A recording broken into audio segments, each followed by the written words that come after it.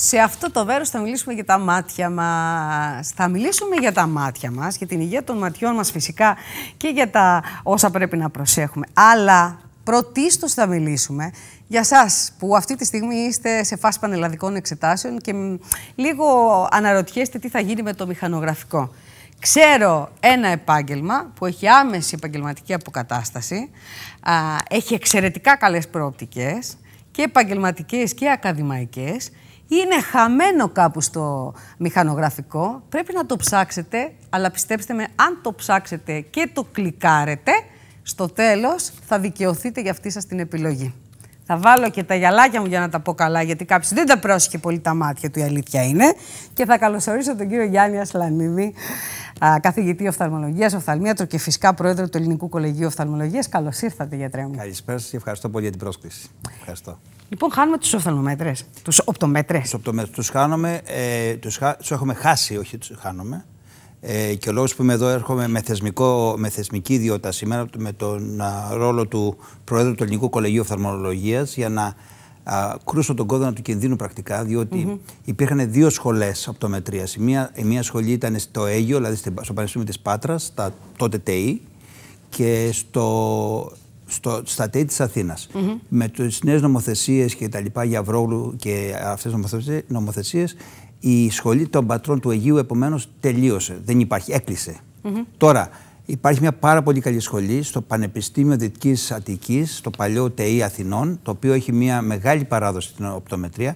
Παρ' όλα αυτά όμως δεν έχει φοιτητές. Δεν έχει φοιτητές, γιατί πού να το βρουν τώρα, πού θα, πού, θα βρεις, πού θα ξέρει κανείς ότι πρέπει να δηλώσει στο τμήμα βιοιατρικών επιστημών στο Πανεπιστήμιο Δυτικής Αττικής για να σπουδάσεις οπτομετρία; Δεν το ξέρεις. Δεν το ξέρεις και δεν το βρίσκεις. Αυτό είναι το χειρότερο. Ένα λεπτό τώρα. Τι είναι οι οπτομέτρε για τον κόσμο που δεν ξέρει; Ωραία. Η οπτο, ε, οπτομέτρηση η οπτική είναι ο παλιός, η παλιά είναι του οπτικού που νομίζω, πολλοί κόσμοι νομίζουν ότι απλώς δίνω γυαλάκια ή πάω σε ένα οπτικό κατάστημα και πουλάω γυαλάκια ή δίνω κανένα φακό επαφής.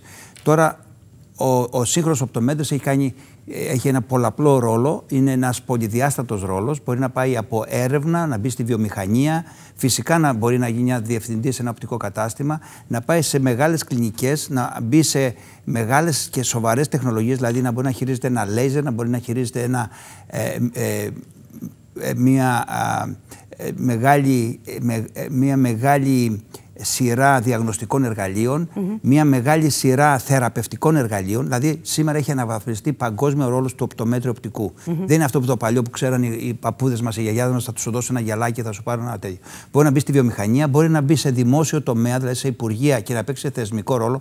Μπορεί να μπει σε μεγάλες, ε, ε, ε, με, μεγάλους θεσμικούς οργανισμούς όπως είναι η, ο ΙΕ, δηλαδή μιλάμε για δημόσια υγεία, για παγκόσμια υγεία, για παγκόσμια, μεγάλα προβλήματα, παγκόσμια προβλήματα όρασης, όπως η μοιοπία που θα πούμε λίγο αργότερα, ε, γίνεται επιδημία πια, 50% του πληθυσμού, του παγκόσμιου πληθυσμού θα είναι μοιοπική. Άρα, οπτομέτρης και οπτικός, οπτικός οπτομέτρης, θα το βάλουμε μαζί τον όρο, οπτικός οπτομέτρης, θα έχει ένα κέριο ρόλο στην κοινωνία του αύριο και στο κλινικό γίγνεσθε του αύριο. Επομένως, Πρέπει που λίγο... σημαίνει ότι θα έχει και καλές απολαυές. Οι, οι απολαυές αυτή τη στιγμή είναι περίπου εφάμιλες του γιατρού. Ένας νέος οπτομέτρης που κάνει μόνο τέσσερα χρόνια σπουδές παίρνει τα ίδια χρήματα όπως παίρνει ένας ε, ειδικευόμενος γιατρός.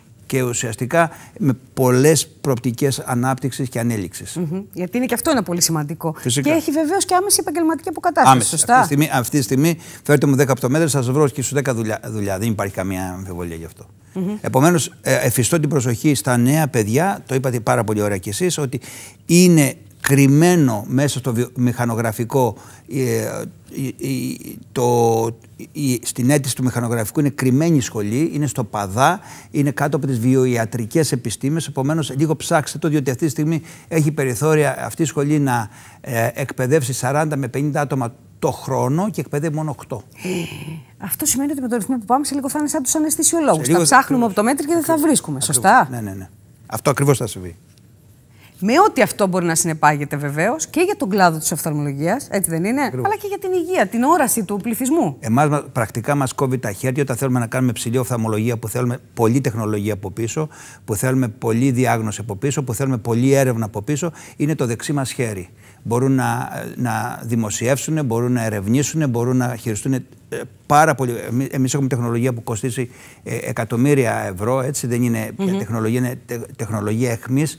Τεχνολογία που έχουμε πάρει από την πολεμική βιομηχανία, eye trackers, laser, ε, όλα αυτά τα πράγματα τα χειρίζονται πια οι οπτομέτρες οπτικοί. Επομένως τους δίνεται μια πολυδιάστατη ε, μελλοντική καριέρα την οποία την αγνοούν. Είναι κρίμα παιδιά που αγαπάνε τα κομπιούτερ, που αγαπάνε τη νέα τεχνολογία, που αγαπάνε την καινοτομία, να μην μπαίνουν σε αυτόν τον κλάδο.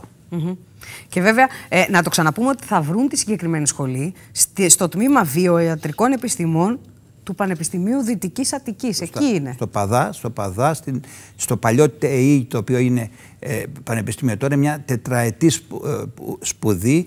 Ε, με δυνατότητες να κάνουν ε, ε μεταπτυχιακά κτλ. Με μεγάλες δυνατότητες να κάνουν μεταπτυχιακά, με, μεγάλη, με μεγάλο άνοιγμα θέσεων αυτή τη στιγμή για μεταπτυχιακά, με μεγάλο άνοιγμα για grants, για υποτροφίες στο εξωτερικό, με μεγάλη ε, συνάφεια με πολλές ακαδημαϊκές σχολές στην Ευρώπη και στην Αμερική. Επομένως, δηλαδή, νομίζω ότι άνθρωποι που αγαπάνε ε, τον κόσμο των ματιών, τον κόσμο της τεχνολογίας, τον κόσμο του να, συμπρά, να συμπράξουν αυτά τα δεδομένα, νομίζω ότι θα έπρεπε αυτοί οι νέοι να το βάλουν σαν πρώτη προτεραιότητα. Καταλαβαίνω ότι το κολέγιο έχει πάρει πρωτοβουλία προκειμένου να την αναδείξει τη συγκεκριμένη σχολή. Εμείς ξεκινάμε τώρα μια καμπάνια σε πανελλήνιο επίπεδο. Βγαίνω εγώ, θα βγω εγώ και όλο το επιτελείο του, του Προεδρείου για να μπορέσουμε να δώσουμε την πραγματική διάσταση του προβλήματος. Δεν νοείται οφθαλμολογία σοβαρή χωρίς οπτικούς οπτομέτρες. Δεν νοείται τα παιδιά αυτά να κάνουν άλλα πράγματα.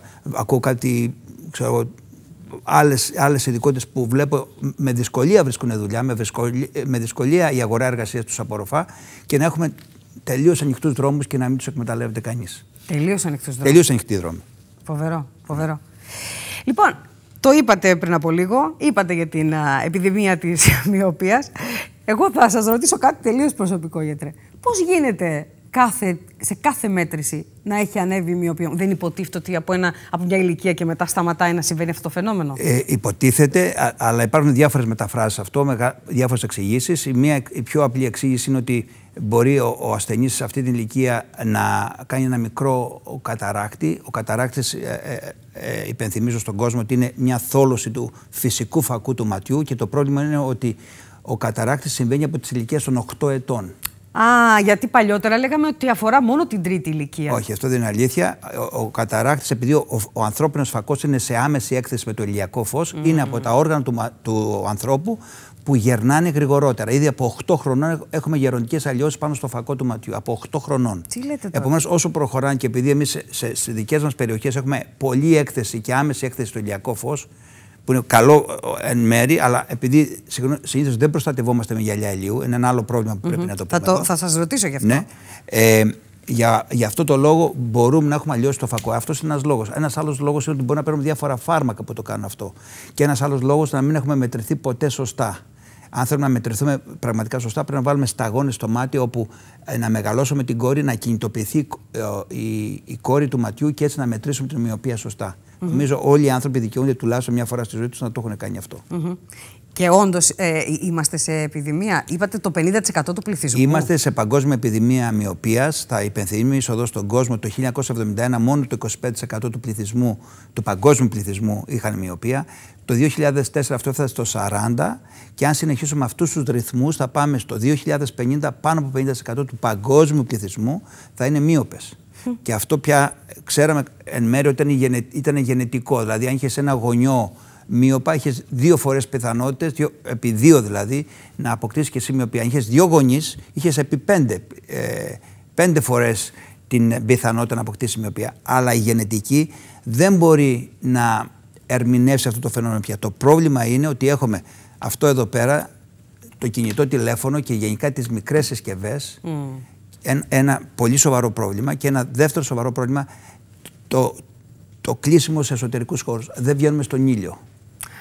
Μισό λεπτάκι τώρα. Δηλαδή, από τη μια μεριά καταλαβαίνω ότι ο ήλιος μπορεί να γίνει εχθρός και από την άλλη είναι σύμμαχό μας. Φίλος και εχθρός ταυτόχρονα. Όπως όλα τα άλλα. όλα τα πράγματα, όταν υπερβούμε κάποιο όριο, γίνεται κάτι φιλικό, γίνεται εχθρικό. Έτσι. Ε, η ατομική η ενέργεια μπορεί να κάνει ενέργεια, μπορεί να κάνει και βόμβα. Έτσι, το, η φωτιά μπορεί να θερμαίνει, αλλά μπορεί και να καίει. Άρα, όταν περνάμε ορισμένα όρια, αυτό γίνεται πρόβλημα. Τι πρόβλημα υπάρχει τώρα με, την, με το ηλιακό φως; Το ηλιακό φως, και αυτό είναι μια παγκόσμια αντίληψη πια, ε, ε, παίζει ένα ρόλο στο να παράγει διάφορους νευροδιαβιβαστές στον εγκέφαλο. Ένας από τους πιο σοβαρούς νευροδιαβιβαστές είναι η ντοπαμίνη.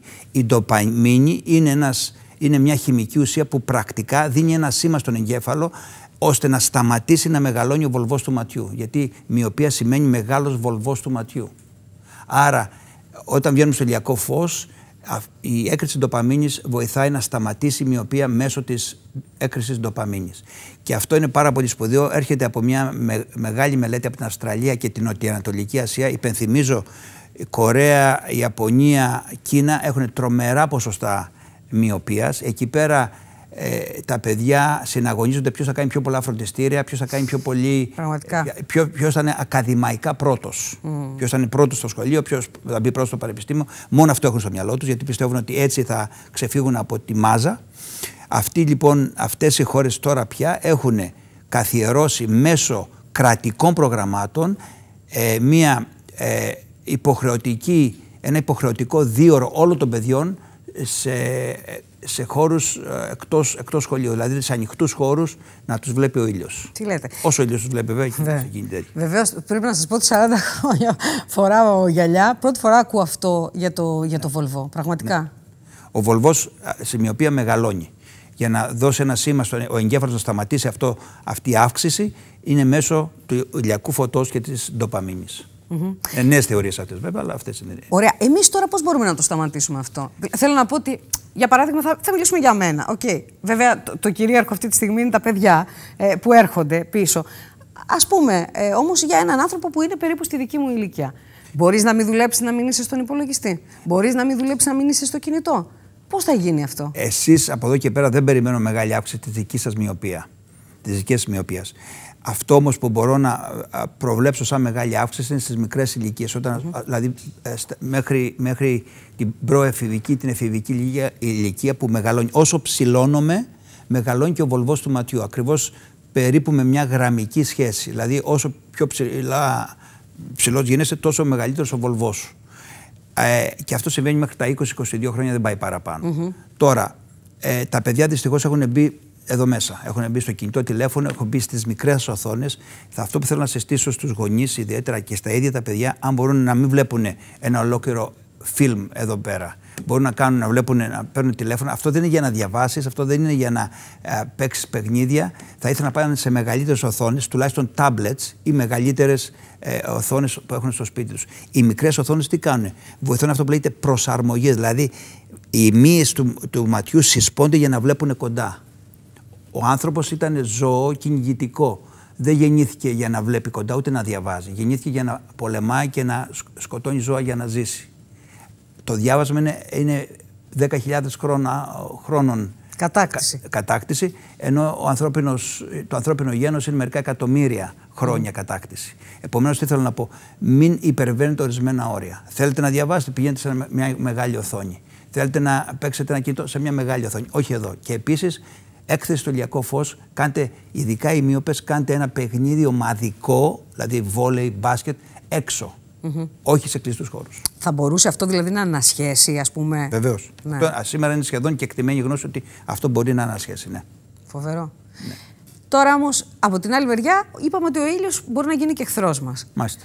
Ένα κυρίαρχο ζήτημα κάθε φορά για τα παιδιά κυρίως είναι τι γυαλιά ηλίου μπορώ να πάρω στα παιδιά, τι φακό να έχει αυτή, αυτό το γυαλί ηλίου και πώς ουσιαστικά θα τα προστατέψει.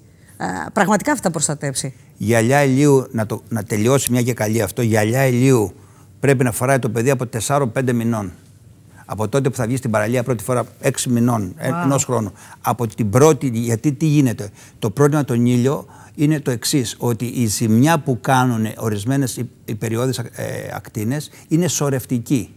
Δηλαδή, ε, έφαγες λίγο ήλιο στα δύο σου χρόνια, έφαγες λίγο ήλιο, λίγο ήλιο στα 17 σου χρόνια και έφαγες λίγο ήλιο στα 38 σου χρόνια. Αυτό συσσωρεύεται.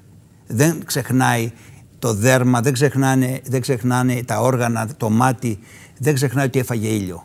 Έχει μία ζημιά η οποία έχει σορευτική ικανότητα. Δηλαδή προστίθεται, θα προσθεθεί η ζημιά στα δύο χρόνια, στα 17 χρόνια και στα 35 χρόνια. Άρα θέλω να είμαστε πολύ προσεκτικοί, ειδικά με τον ήλιο που έχουμε εμείς.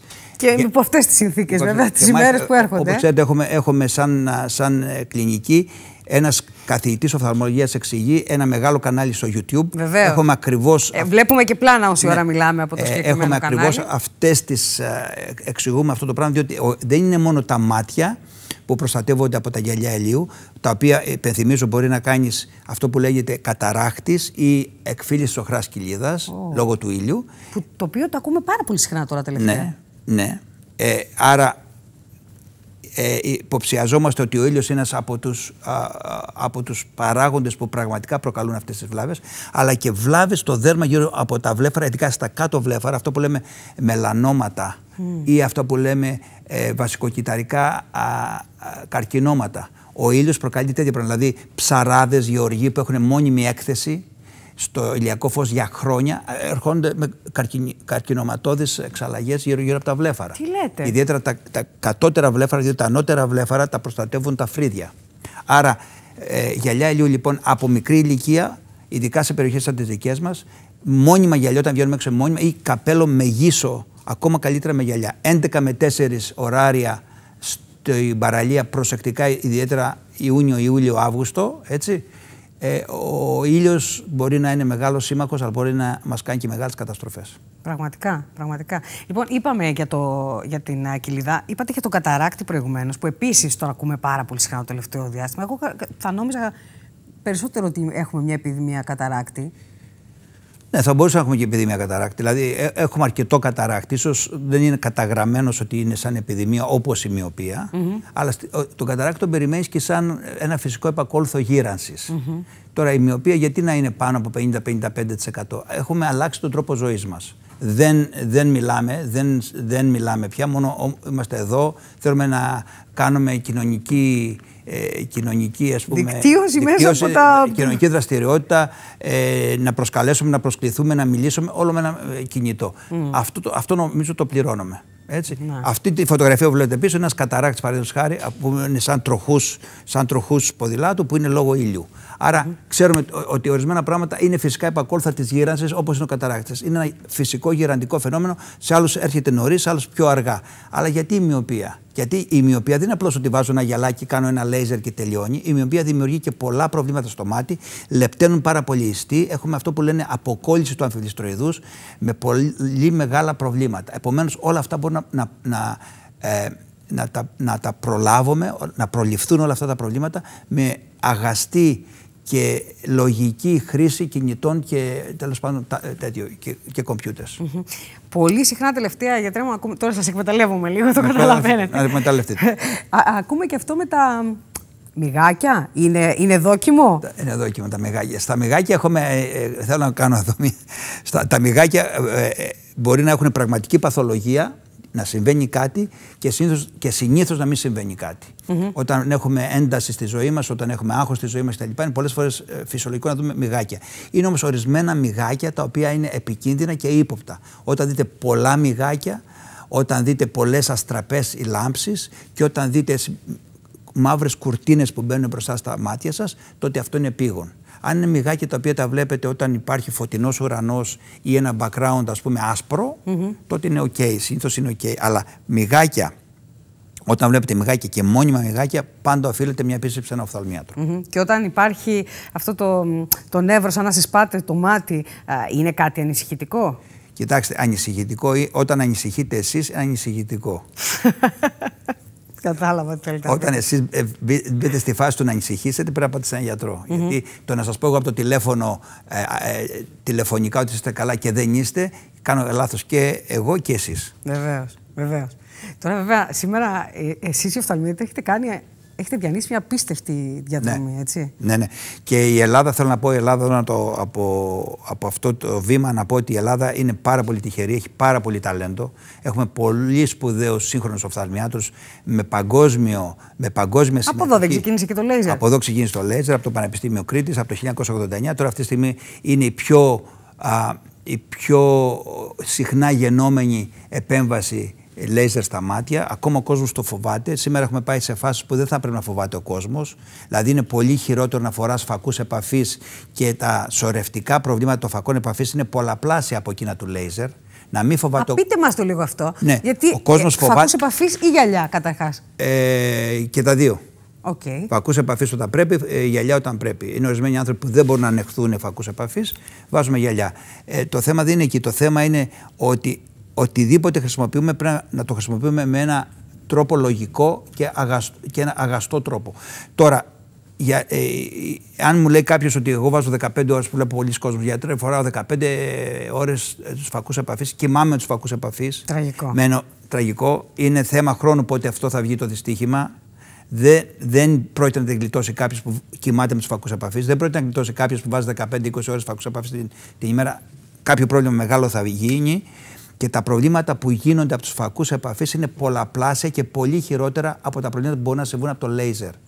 Το πρόβλημα τους φακούς επαφής είναι το εξής, ότι επειδή δεν αναπνέει ο κερατοειδής, δεν αναπνέει δηλαδή το μάτι, βγαίνουν εκεί πέρα δυνητικά παράσιτα τα οποία δεν το πιάνουν τα αντιβιωτικά. Και είναι παράσιτα πολύ πρωτόγωνα, δηλαδή είναι αμοιβάδες, είναι η αρχαίγονη μορφή ζωής που δεν μπορούν να το πιάσουν. Έχουμε, έχουμε πολλές φορές κατεστραμμένα μάτια τελείως που δεν μπορούμε να κάνουμε τίποτα. Από την υπερβολική και κακή χρήση, μη λογική χρήση φακών επαφής. Τέτοια πράγματα το λέιζερ δεν έχουμε ποτέ. Μπορεί να συμβούν πράγματα τα οποία συνήθως κατά μεγάλο ποσοστό, πάνω από 99% μπορούμε να τα φτιάξουμε όλα. Δεν έχουμε αυτή τη στιγμή προβλήματα λέιζερ που κάνουν μόνιμη βλάβη. Mm-hmm. Τέλειωσαν Και είναι για όλους το λέιζερ. Θέλω να πω και είναι... ηλικιακά είναι για όλους. Και σε παθήσει επίσης είναι για όλους. Όχι. Τίποτα δεν είναι για όλους. Εδώ πάμε σε εξατομικευμένη ιατρική, πάμε σε ιατρική αριστείας. Ο καθένας ανάλογα με τις ανάγκες του παίρνει την ιατρική που του, που του πρέπει και του χρειάζεται. Mm-hmm. Περάσαν οι εποχές που τα, τα κάνω όλα, τα κάνω, γίνονται όλα για όλους κτλ. Κάτι τέτοιο δεν πρέπει να γίνεται σήμερα. Σήμερα έχει εξελιχθεί τόσο πολύ η επιστήμη και τόσο πολύ η κοινωνία που έχουμε το δικαίωμα να παίρνουμε το άριστο για, για τον κάθε ένα ξεχωριστά. Βεβαίως. Και αυτό είναι το σωστό, βεβαίως. Και, και εμείς δεν πρέπει να φοβόμαστε πια οι ασθενεί. Όχι, δεν πρέπει να φοβόμαστε γιατί η Ελλάδα έχει πια πάρα πολύ καλή εκπαίδευση, έχει πάρα πολύ καλούς οφθαλμιάτρους και ε, οφθαλμιάτρους με, με συμμετοχή στο παγκόσμιο γίγνεσθε της οφθαλμολογίας. Mm-hmm. Και πρέπει να έχουμε και καλούς οπτομέτρε, πρέπει να πω εγώ, που σημαίνει ότι. Αυτό είναι το μήνυμα που θέλω σήμερα. Μηχανογραφικό στο Παδά είναι η μόνη σχολή στην Ελλάδα. Μεγάλη ευκαιρία καριέρας, μεγάλη ευκαιρία να γίνεται δεξί χέρι οφθαλμιάτρων που έχουμε πολλούς καλούς οφθαλμιάτρους πια στην Ελλάδα και μεγάλο, ε, μεγάλο, ε, μεγάλη μόχλευση για καινοτομία, έρευνα και, και καριέρα τελικά. Και φυσικά εγώ να σημειώσω και τα πιο πρακτικά πράγματα. Πέραν από την επιστημοσύνη, έχετε και τη δυνατότητα της άμεσης επαγγελματικής αποκατάστασης. Αυτό μην το ξεχνάτε, είναι πάρα πολύ σημαντικό να το πούμε. Και φυσικά και των καλών αμοιβών. Έτσι δεν είναι; Πολύ καλές αμοιβές, μάλιστα. Πολύ καλές αμοιβές. Όπως ένας γιατρός. Όπως ένας γιατρός. Χάρηκα πάρα πολύ. Εμείς, εγώ ευχαριστώ, ευχαριστώ πάρα πολύ. Και που μας λύσατε και απορίες. Να είστε καλά. Μετά, βέβαια, θα σας ρωτήσω κι άλλα. Μόλι πάμε σε διαφημίσεις. Τώρα, μιας και ήρθατε εδώ, θα σας εκμεταλλευτώ. Τον αέρα είμαστε ή όχι; Βεβαίως και είμαστε στον αέρα. Περιμένετε λίγο. Πάμε σε διαφημίσεις και επιστρέφουμε.